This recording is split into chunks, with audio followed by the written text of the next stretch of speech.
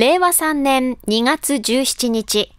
阿蘇地域の高校生らが阿蘇のジオストーリーと人々の暮らし、歴史に関する研究成果をオンライン形式で発表しました。これは阿蘇地域の高校生に対する学習サポートを行っている阿蘇ジオパーク推進協議会が阿蘇地域の3つの高等学校を対象に研究成果を披露する場として開催したもので、阿蘇市内巻の阿蘇ホテル一番館をメイン会場に、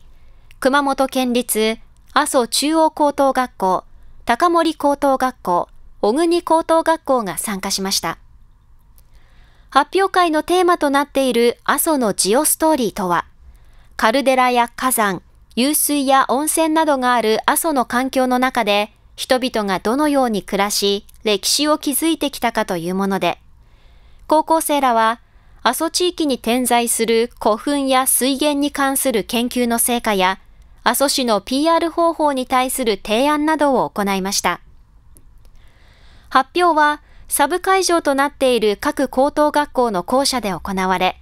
発表後の質疑では、メイン会場で発表を聞いた阿蘇ユネスコジオパーク関係者らと高校生が意見交換をしました。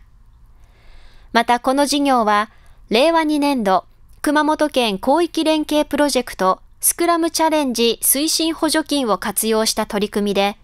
今後は意見交換の場を熊本県全域に広げていきたいということです。